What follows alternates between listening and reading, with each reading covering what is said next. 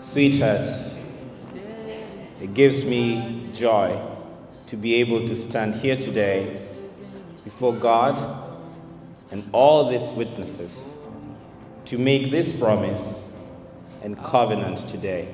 Thank you for being kind, generous, gorgeous, and most importantly, the answer to my prayer.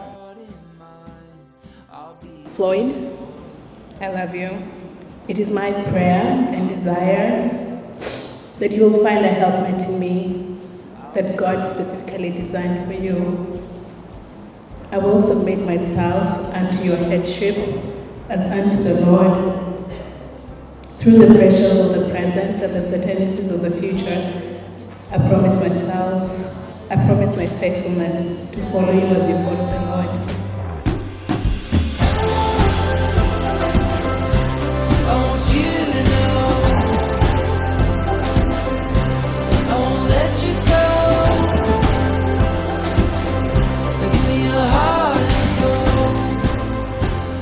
As Proverbs 18:22 says, "He who finds a wife finds a good thing and obtains favor from the Lord."